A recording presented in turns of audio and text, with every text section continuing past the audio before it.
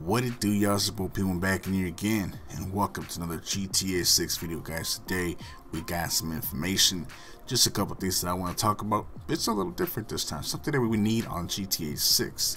And um, for most guys, make sure you guys go ahead and drop kick that like, subscribe to the channel. You know we're trying to hit that 22k and that's the sub goal for this channel.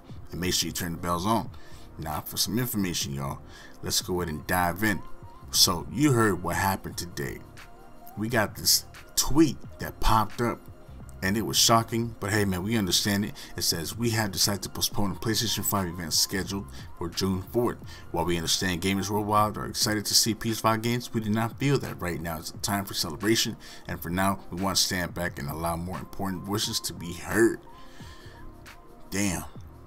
That is sad in a way but at the same time we must understand that we're in the world right now we got some issues and you know we want to watch this at peace without having some negativity going on in the background you know what i'm saying? So i understand playstation uh, how they're trying to get this you know on a perfect day on a perfect sunday day man trying to give us little information on the games and the ps5 too. And now to put that on the site guys now we have this interior that we want to talk about an open interior. Now imagine outside of the clothing stores strip clubs homes of you know these three protagonists but i don't know it could be two or one Imagine no interior GTA 5 was accessible outside of specific missions that can lead to like the feelings of the world being obviously closed off and everything. But in detailed games, these worlds are actually great. But this lack of interiors that has on GTA 5, we're trying to get GTA 6 to get some pointers from, you know, maybe Mafia 3, you know, have accessible interiors that can actually have both designs and NPCs present. You know, without, you know, interactions with buildings in the world, which could be just, you know, talked about later on. But it's important that, you know, the players explore the whole world in full, you know what I'm saying? So if this amount has like a lot of open buildings and stores that you can actually rob, at least there's a clear upgrade present. You know what I'm saying? Like Heist was the best one of all, but you know in GTA. But with more armed robberies, dynamic side event opportunities, you know like those unknown ones like uh, Red Dead as well, and then better overall experience that we can actually see. You know what I'm saying?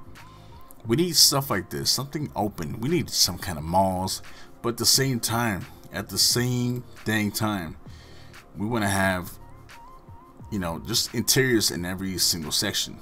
And, you know, let's just say if it's Vice City or, you know, wherever this map's going to be. But I'm pretty sure it's going to be Vice City. But imagine going to a normal location as a business, saloons, or sorry, salons.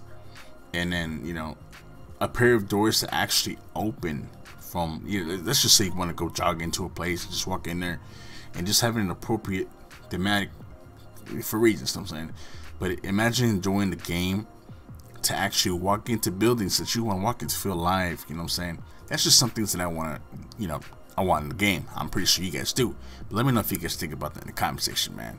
Alright, so now we have image leaks and debunks, okay? Now here are a few guys. People are looking at this picture and claiming this is GTA 6. You guys put in the comment section, let me know what this image is from. Because uh, people are just claiming that it's, it's, it's, it's GTA 6.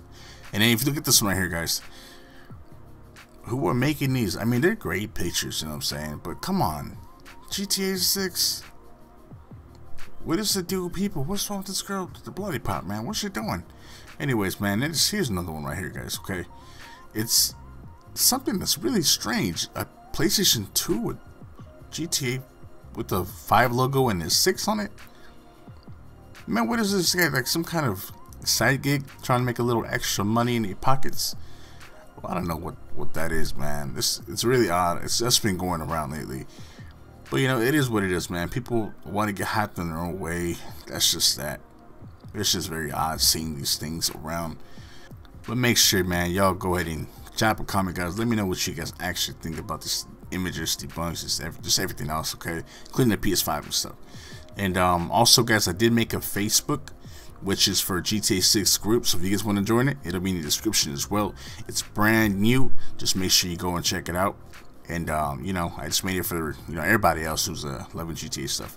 Make sure you guys do subscribe for future GTA 5 and GTA 6 info videos, guys. Y'all know where we have it here first. Your one and only P1, man.